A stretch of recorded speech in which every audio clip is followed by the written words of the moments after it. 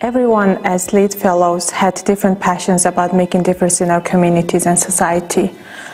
The things that really moved me during the US exchange to deeply feel my passion for the society was the visit to the School of Deaf and Blind, as well as the um, Labor Service um, Department of the government of Washington, D.C.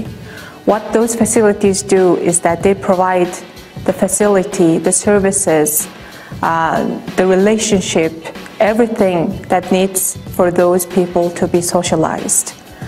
For the children who are at the blind and deaf school, um, they had the facility, even though they're far from their parents, they are confident and comfortable enough to talk to the teachers. The teachers are also blind and deaf. That makes the social inclusion more close and passionate. For the Labor Services Department, they focus on the people who are out of their job or who do not know how to uh, get their feet back into the society. They teach little things like how to do their applications or how to apply for jobs.